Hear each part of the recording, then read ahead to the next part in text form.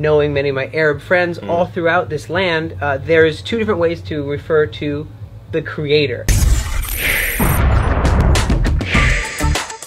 A question came in, Chaim, today from Hans from Germany, and Uh-huh. he has asked, is Allah another name for the God of the Bible? Well, that is a tachlis, straight to the point question. That is straight to the point. I love it.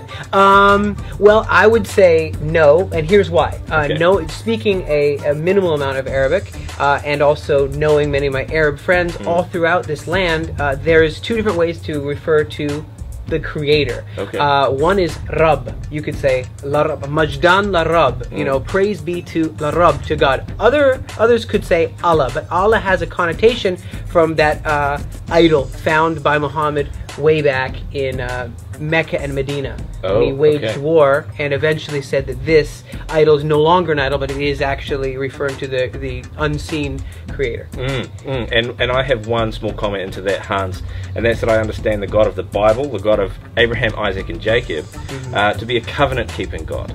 Whereas in uh, the uh, the writings of the Muslim faith, the Quran, they uh, they say Allah will do what Allah will do. He's Right, uh, right. unpredictable. Whereas we serve, uh, I personally serve, and I understand you do too, Chaim, a covenant keeping God, Yes. the God of Abraham, Isaac, and Jacob. And even to put it tachlis, judge the tree by its fruits. Different. Tachlis.